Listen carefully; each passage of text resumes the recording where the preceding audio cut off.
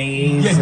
Thank you, Darren. Thank you. Check it out. Thank you. Um, um, no, so so we we got to work on this book with a beautiful author named Val Emmich, and he wrote this book with us. And Love the one Val Emmich super fan over there. It's actually just Val. It's Val. He's here. Um, uh, uh, but anyway, we the book is coming out on Tuesday. Yeah.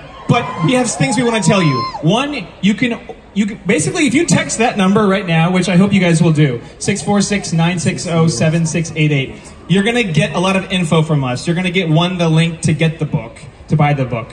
Two, you're gonna get a link to a show that we're doing tomorrow night Yeah. at Town Hall. And uh, are there any Queer Eye fans here? So tomorrow, tomorrow we're going to do an event.